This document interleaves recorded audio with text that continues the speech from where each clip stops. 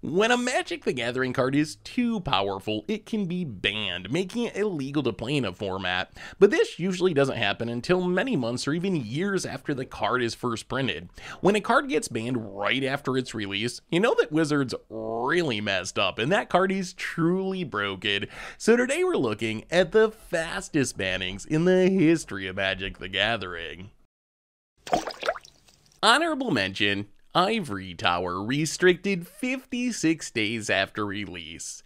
Technically, Ivory Tower just misses out on our list. Its restriction 56 days after being printed in Antiquities puts it just outside the top 10 fastest bannings, but I couldn't resist mentioning the artifact just because it was also on our list of the worst cards to ever be banned. The fact that one of the least powerful cards ever added to the Magic ban list is also one of the fastest cards to be banned shows just how strange Magic was in the early days.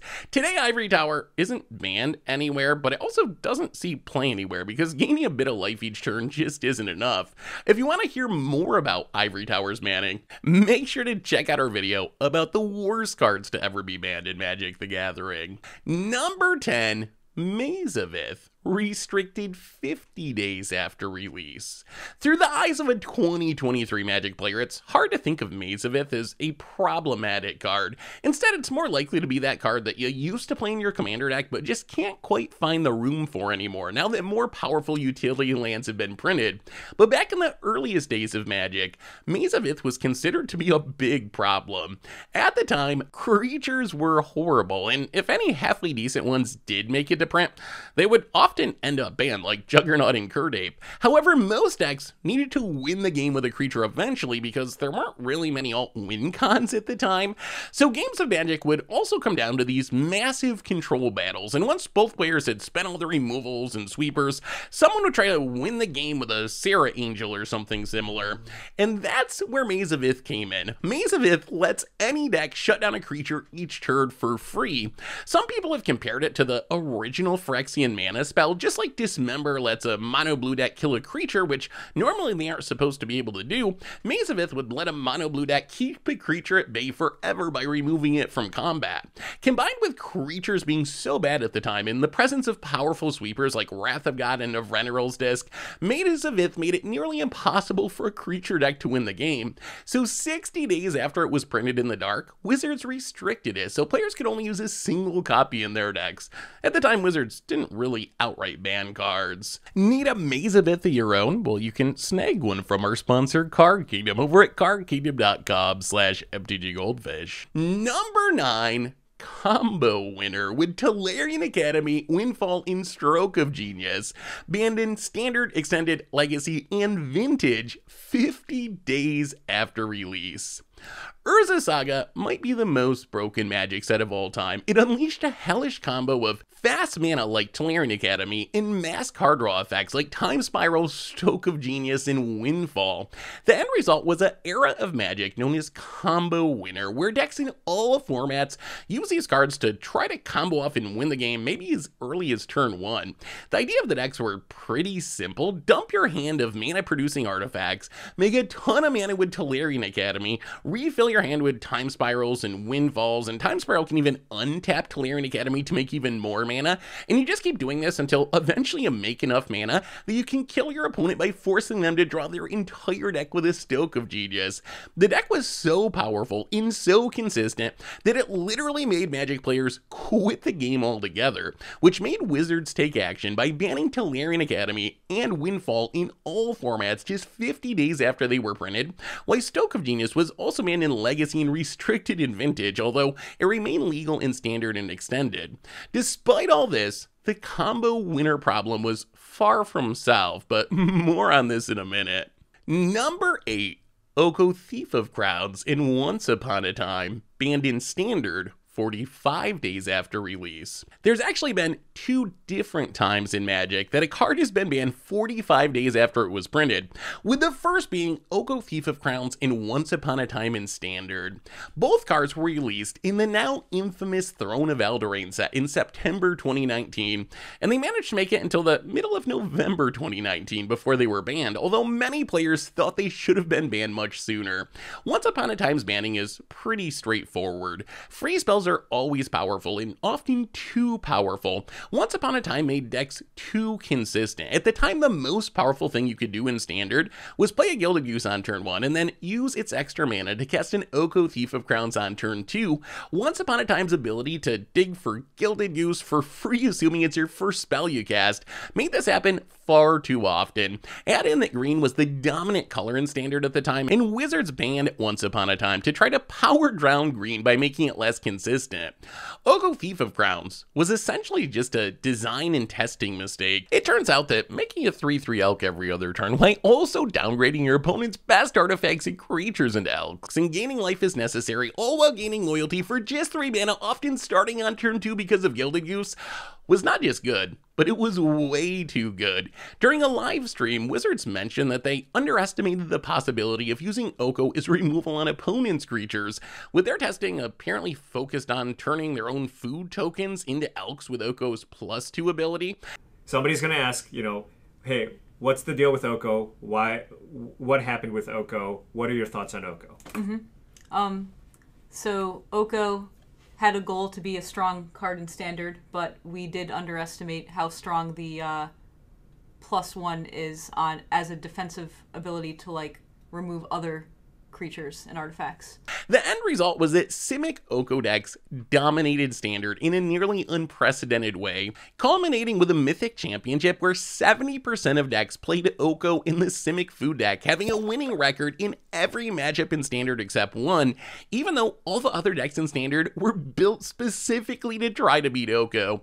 This led to Oko's banning in Standard just 45 days after it was printed, and over the coming months and years, it would be banned in Pioneer, Modern, and Legacy as well. Number 7 Underworld Breach, banned in Legacy 45 days after release. There's several cards in Magic's history that let you recast the cards in your graveyard, with some of them being quite strong. Yawgmoth's Will has been banned and extended in Legacy and restricted in Vintage. Past in Flames is a key card in Storm decks in both Legacy and Modern, and both of these cards have a safety valve built in. When a card goes to your graveyard, you have to exile it, so you can't keep casting the same card over and over and over again. Underworld Breach is similar to Yawgmoth's Will Past in Flames. Once it hits the battlefield, you can cast cards from your graveyard thanks to the escape mechanic, but it has one huge twist. Once the card resolves, it goes back into your graveyard rather than to exile, so you can cast the same card over and over again. The downside of Underworld Breach is that the cards you cast from your graveyard have an additional cost. You need to exile three cards from your graveyard along with paying the card's mana cost. The idea was this would serve as a safety valve. You can't just keep casting the same card card too many times in a row, because eventually you'll run out of cards in your graveyard to exile. But Legacy players pretty quickly realized this wasn't actually that much of a drawback, because they had the perfect card to get around it in Brain Freeze. Brain Freeze costs 2 mana and it mills 3 cards, but it also has a storm mechanic, so it's copied for each spell you cast before it during the turn. An Underworld Breach deck emerged in Legacy that looked to combine Breach with Brain Freeze and Lion's Eye Diamond for a super fast fast, consistent combo kill.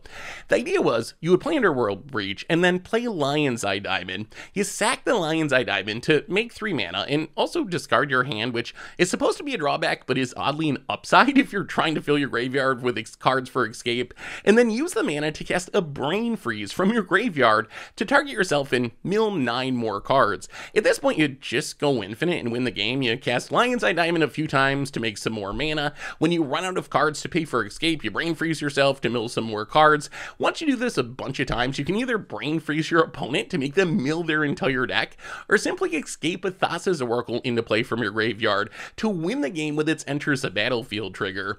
The speed and consistency of this combo, along with its absurd win rate in the hands of skilled pilots, led to Wizards adding the card to the ban list less than two months after it was printed. Number 6, Lurrus of the Dream Den in Zirda the Dawnwaker in Legacy 31 days after release. Companion will undoubtedly go down as one of, if not the biggest mistake mechanic in Magic's history. The idea of the mechanic is pretty simple make players build their deck to meet a weird requirement, like playing all odd or even mana value cards, playing all cheap cards, playing all cards with activated abilities, and if they meet that requirement, they would get a free powerful bonus card, their companion. It turns out that being able to start the game with 8 cards rather than just 7 is incredibly powerful, and over the first days after Ikoria and the companion mechanic released, it dominated literally every format in Magic, from standard all the way back to vintage. While all 10 companions saw play, two were especially dominant in older formats. Zirda the Dawnwaker allowed legacy decks to make infinite mana with Grim Monolith, and since you would always start the game with access to Zirda as your companion, you were essentially a one card combo deck. All you needed to do was draw the Grim Monolith and you'd go infinite and win the game, which led to it being banned in Legacy just 31 days after it released. Lurrus of the Dream Den is even a more extreme example. Its restriction, playing all permanents that cost 2 mana or less is basically non existent in a format like Legacy or Vintage, where many of the most popular permanents cost zero, one, or 2 mana anyway. This led to many top tier decks in those formats being able to play Lurrus with essentially zero cost. Lurrus decks quickly took over the metagame, which led to Wizards banning the Nightmare Cat in Legacy and Vintage, with the latter being especially shocking since cards aren't banned in Vintage, they're restricted so you can only play a single copy. But since you can only play a single companion anyway, they were forced to take the unprecedented step of outright banning Lurrus in Vintage as well. Hilariously, these bannings wouldn't solve the companion problem. Shortly thereafter, Wizards took another unprecedented step, errataing the entire mechanic. So now you have to pay 3 mana to add your companion to your hand rather than just casting it naturally. And even with this change, a change that essentially doubled the cost of the most popular companions, over the next three years, Lurrus would be banned in both Modern and Pioneer, while another companion, Yorion Sky Nomad, would also be banned in Modern. All this to say, while Lurrus and Zirda were both incredibly broken, the real problem here was the companion mechanic, which dominated and arguably ruined the game in a way that had never been seen before in its 30 year history. Number 5 Omnath Locus of Creation, banned in Standard 17 days after release. In 2020 Zendikar Rising, Wizards decided to bring the popular landfall mechanic back to standard, headlined by a new version of an iconic character in Omnath Locus of Creation. Standard was already in a precarious spot. A year earlier, Throne of Eldraine, one of the most broken sets in the modern era of Magic, was printed, and even after an absurd number of bannings, including Oko Thief of Crowns, Once Upon a Time, Fires of Invention, and Cauldron Familiar, the set, and more specifically the adventure mechanic, were dominating the standard format. Zendikar Rising brought with it standard rotation, and players were trying to hold out hope that the format would change and something would unseat Eldraine and Adventures as the dominant force in standard. Instead, players quickly realized that the best card from Zendikar Rising Omnath Locus of Creation worked really well in an adventure shell with cards like Beanstalk Giant and Escape to the Wilds to make extra land drops to trigger Omnath. So rather than helping free standard from Eldraine's grip, Omnath actually just strengthened its hold on the format as a source of life gain to defeat aggro and ramp to quickly flood the board with threats. According to Wizards, their data showed that four color adventures with Omnath had a favorable matchup against 9 of the 10 most played non Omnath decks in standard standard, and when 23 of the 32 players in the Grand Finals tournament showed up with Omnath decks, Wizards decided they'd finally had enough and banned the Chase Mythic from their newest set just 17 days after it released. Number 4, Memory Jar, banned everywhere 14 days after release. Remember number 9 on our list, where we talked about Combo Winter and how Urza's Saga broke basically every Magic format and led to a ton of bannings? Well, Memory Jar was printed in Urza's Legacy, which dropped about six months after Urza's Saga on the tail end of Combo Winner. Memory Jar is notorious for being the first card in Magic's history to ever be emergency banned. For most of Magic's life, bannings happen on a regular schedule, four times a year alongside each set release, but Memory Jar proved to be such a problem that Wizards banned it off schedule just 14 days after it was printed in Urza's Legacy.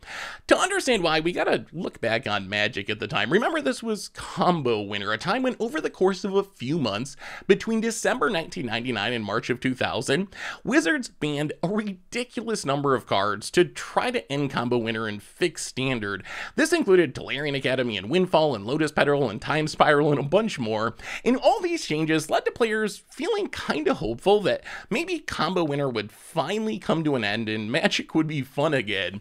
But then Wizards released Urza's Legacy, and along with it, Memory Jar. And Memory Jar is a card that looks a lot like Time Spiral or Windfall, these banned combo pieces that lets a player draw a new 7 card hand to keep comboing.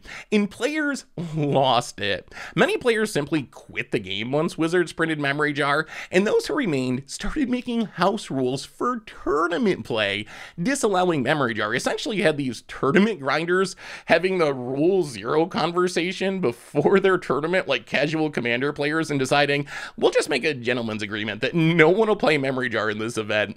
After Wizards saw this, they quickly took action and added Memory Jar to the ban list just two weeks after it was printed.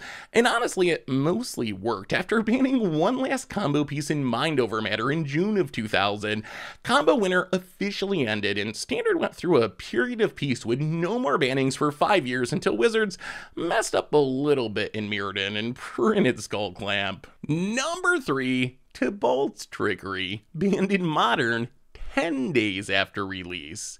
Tibalt's Trickery was supposed to be a chaotic red take on a counter spell. For two mana, you can counter anything, but that thing is replaced by a random non-land card.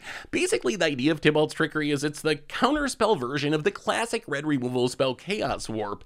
Incredibly flexible and efficient, but also super risky. Unfortunately, Tibalt's Trickery is missing three key words. Rather than saying counter target spell, it should say counter target spell an opponent controls.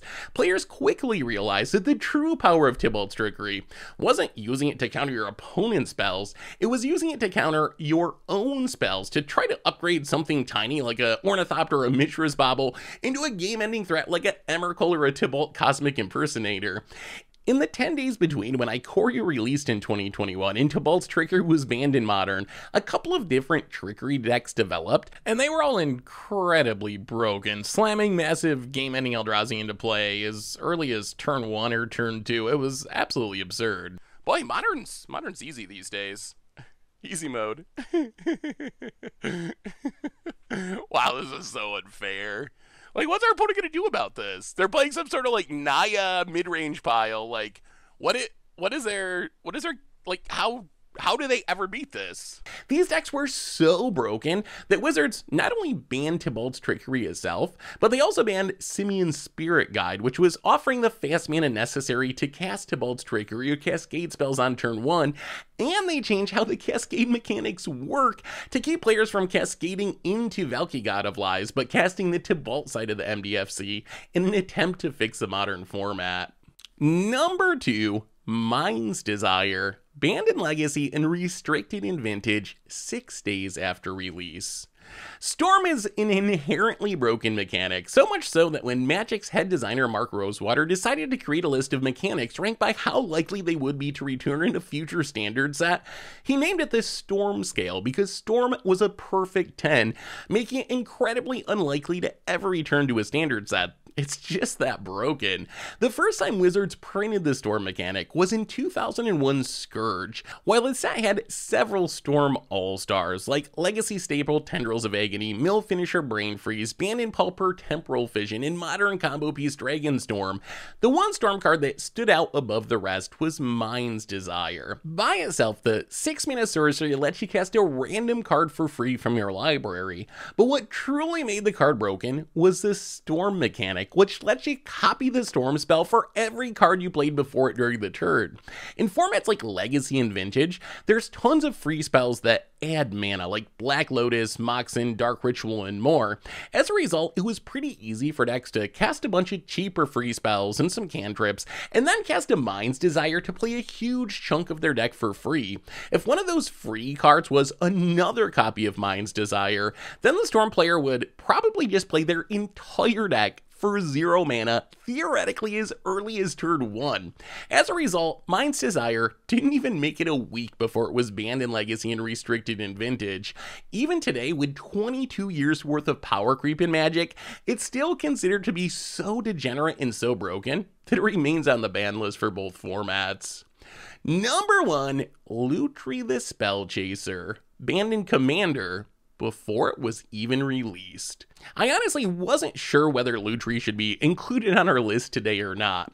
On one hand, the companion is the only card in the history of Magic to be pre-banned, banned before it was even released, with it being banned in Commander the very day it was previewed. On the other hand, Wizards knew the card would be pre-banned in Commander when they printed it and decided to release it anyway rather than changing it, presumably because they designed Lutri and the companion mechanic primarily for 60 card formats instead of Commander.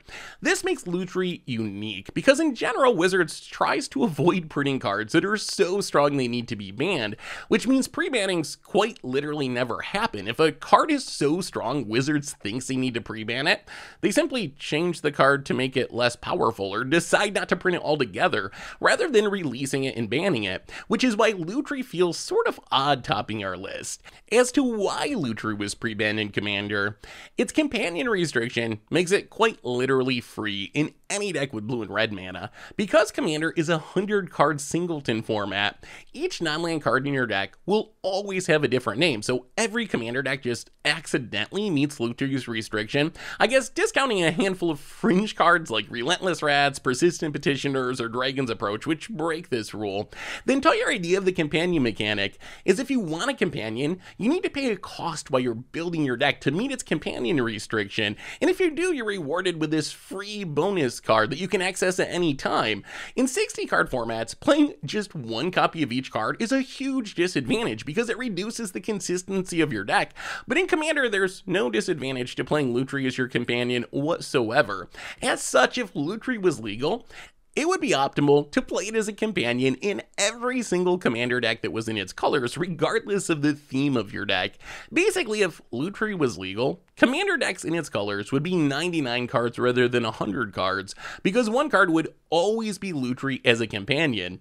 Instead, Lutri was thankfully banned in Commander and also Brawl, a digital only format with similar rules, before Ikoria even released. Anyway, those are the fastest bannings in the history of the game. If you want even more magic, make sure to check out the video about the most hated card from every year of Magic, or maybe the one where we break down the least powerful cards that have ever been banned.